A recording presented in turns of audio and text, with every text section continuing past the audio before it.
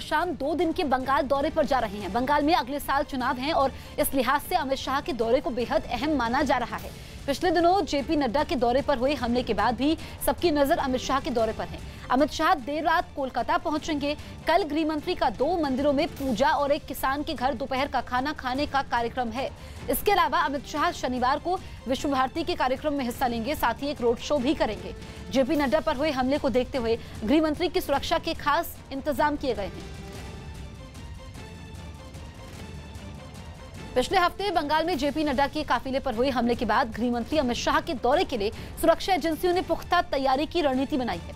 News 18 के अमित पांडे की report है कि गृह मंत्री अमित शाह की क्लोज प्रोटेक्शन टीम, यानी उनके करीबी रहने वाले सुरक्षाकर्मी और आउटर प्रोटेक्शन टीम, यानी उनसे तय दूरी पर सुरक्षा घेरा बनाने वाली टीम में जवानों की तादाद बढ़ाई जाएगी।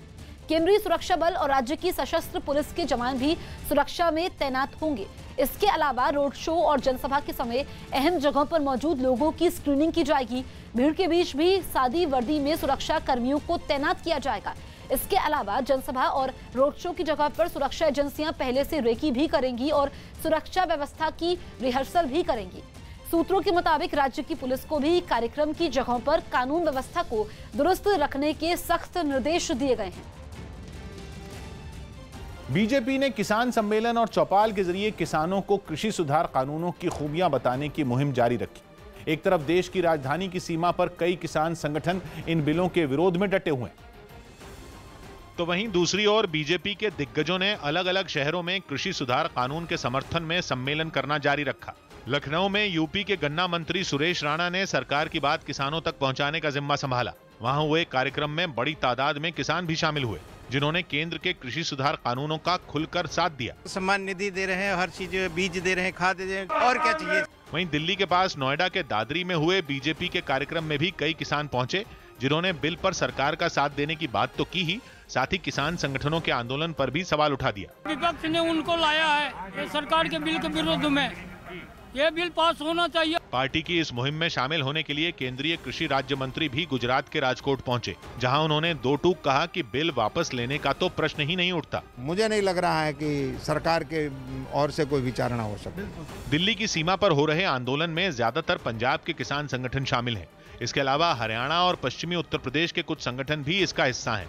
लेकिन देश के बहुत सारे किसान ऐसे भी हैं जिन्हें कृषि सुधार कानून में कोई कमी नहीं दिखती। बीजेपी के सम्मेलन में किसानों का वही तबका शामिल हुआ। पश्चिम बंगाल के आसनसोल में नगर निगम के दफ्तर के पास एक चलती कार अचानक आग के गोले में तब्दील हो गई। बताया गया कि तेज रफ्तार में गाड़ी चलाते वक्त अचानक इंजन में आग लगी।